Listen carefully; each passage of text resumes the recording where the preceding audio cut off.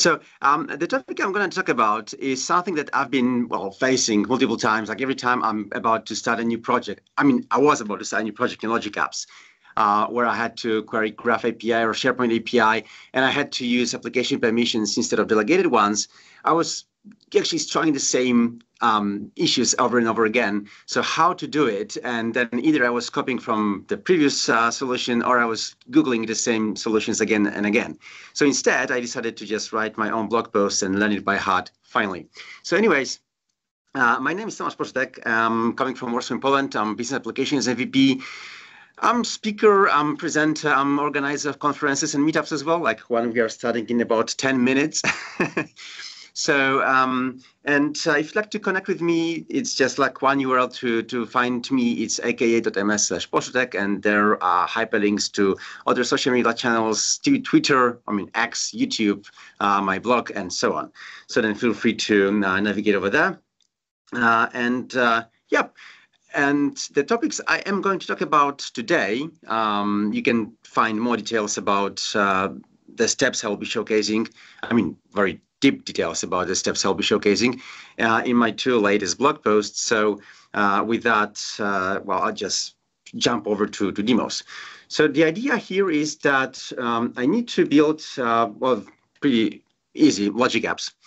Um, and they have to work using application permissions to query both Graph and SharePoint APIs. So first, uh, let's go and try with the Graph API. Um, to start with, you need to register your application. I have it already registered, so I'll just skip this step. But the registration of an application is pretty easy. The next step you have to do is you need to grant the application the permissions you want the application to have. Well, in my case, I'll be using the mail read basic so that the application is able now to um, access any user mailbox in that in my tenant and read through it, through their mails. Uh, you can grant other permissions it has to be, of course, application permissions by um, pressing the button the permission, and then you can choose from whatever hundreds of endpoints um, that you can uh, well choose from. The point is, once you do grant a uh, new permission, um, and it's on the app level, it will most certainly require the admin consent.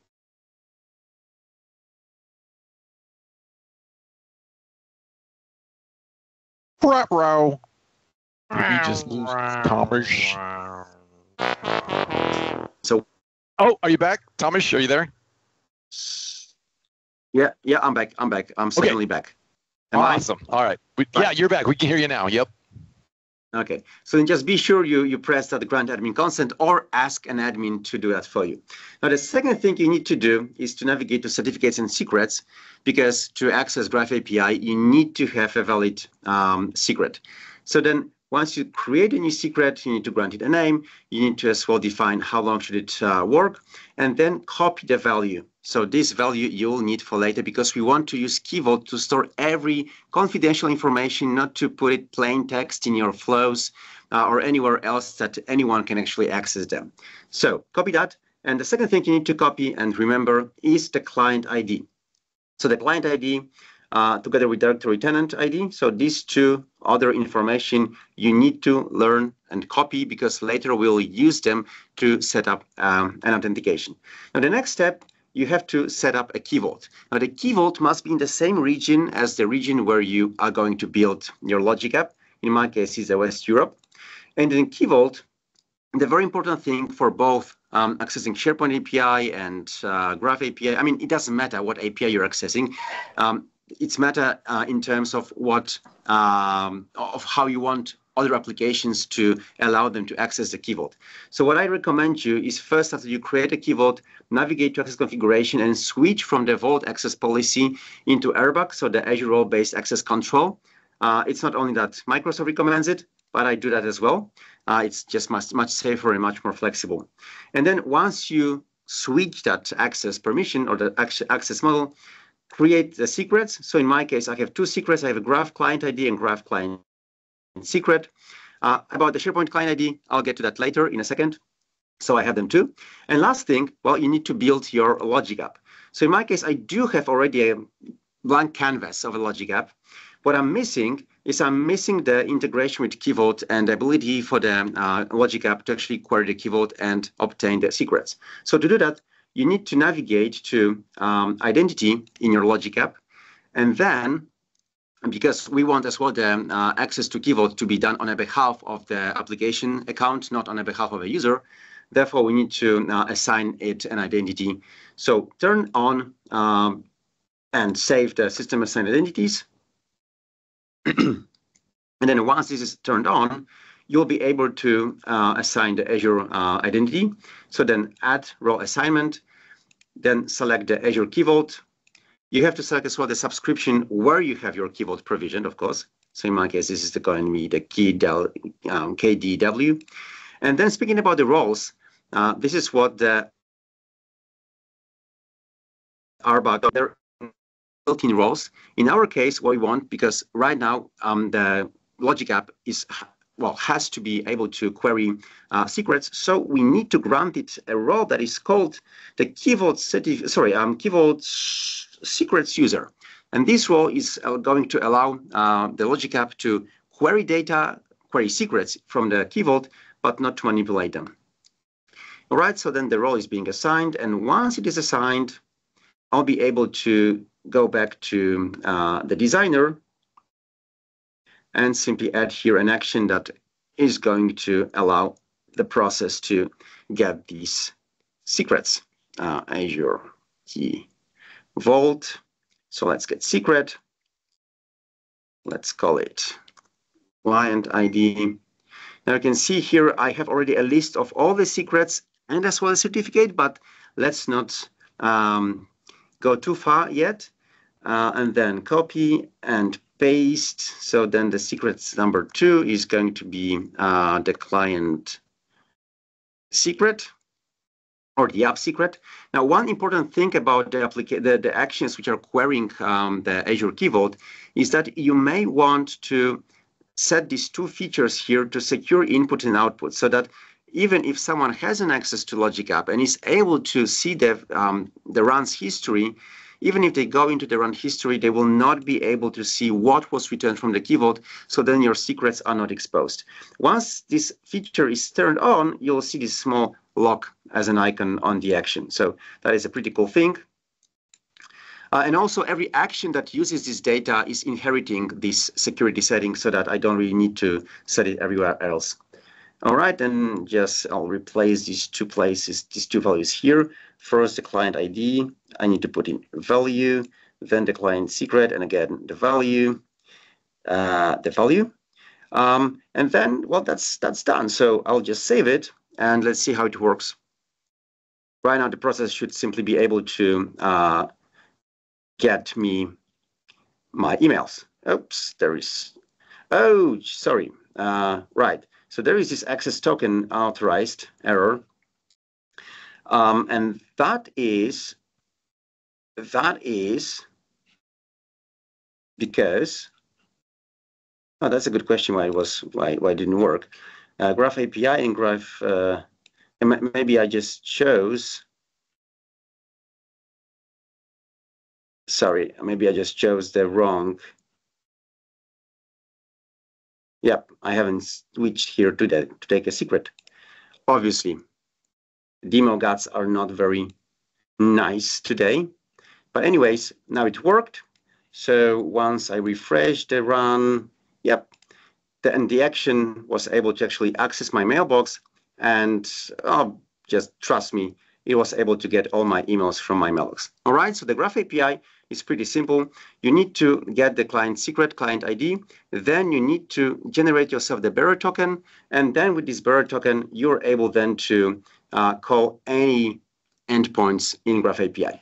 Now with the SharePoint API, it's a little bit more um, fun or a bit more complex because apart from having, again, the uh, app registered, you need to grant it a certificate. So the authentication to SharePoint API most I mean, works the best using the certificate. So to do that, you need to navigate to Azure Key Vault and then hit to generate or create new certificate. You need to grant it a name. Um, oops, it doesn't. Okay, you need to grant a name.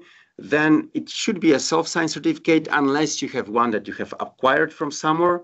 Then for the CN, so the common name is always the sharepoint.com because we want to grant um, the, I mean, use the certificate to authorize all these calls coming, go, going to the SharePoint endpoint. And then you can configure additional settings like how long should the certificate be valid and so on and so on. Now, once the certificate is generated, I have one it already here, then open it and go to the latest version. And from the latest version, you need to download the certificate in that CER format. You're going to use it to authorize an application to call SharePoint API. And so once you got this CER format, you need to navigate into the API permissions of the application that you have provisioned. Where do I have it? Here. But this time, sorry, um, to, to certificates and secrets, but this time, instead of generating new client secret, new client ID, I mean, new client secret, you need to switch to the certificates tab and under the certificates tab, hit the button upload certificate, and in here, upload that CER file that you have downloaded from the Key Vault in the first place. So that is the second step that you have to do, uh, speaking about the SharePoint application. And then the third, well, actually is to navigate to your Logic app and to set up the whole integration. Again, if you're building a new application, just be sure that you have went to that you have gone to identity configuration that you have switched on the Azure roles management for the application, for the Logic app, and that you have granted a specific um, role. In my, in our case, in this case, we need to grant this um, application, this Logic app, uh, actually, a second role because this time it is not only going to be allowed to query secrets, but it as well has to be able to query um, certificates, right? So then I'll go to the Key Vault and then there is a second role that is called Key Vault Certificates User, right? So that's a second role that will allow the application, which is called a Logic app, um, to access certificates as well. Lovely. So now once this is added, once this role is added, I can now, come on, show up. Oh, trust me, it should be here. It was added. All right, I hope it's gonna work. So now I'm able to switch back to the designer. I'll just copy this action in here. But this time I want to take the SharePoint client ID because that's a second application. And also I need to get the certificate So I need to get the SharePoint.com certificate. Now, one thing important is that, as you may see, all these actions are using the connection, well, with this name, but it's using the managed identity. So I've created a connection based or using uh, an application permissions, such as I, need, I went to add new, and here I switch from the client certificate auth into the managed identity. Then I typed in the Key Vault name, and that simply created a connection for this Logic app. Uh, okay, so here everything is set up. Now I need to as well configure an action that is going to call HTTP endpoint from SharePoint. It's going to be a pretty simple call, just get details of a web. So what I have to do is to provide a client ID for, for the application, which is here. And you need to select the credential type from secret to certificate and provide a certificate. If your certificate was protected with a password, type in a password or get it from the Key Vault as well. If not, like in this case, then you don't need to actually do anything else. So with that, I should be now able to just replace these two scopes and save and run so that the process is able to now get data from SharePoint Web. And refresh. And hey, there it is. So with that, I was able to get this beauty information from my SharePoint website. So all these details about the website is here. And well, that is pretty it. So again, if you'd like to know in very details, like what to do in every step to set up this kind of configuration, uh, it's on my blog. So feel free to, to learn and use it yourself. Thank you very much. Thank you.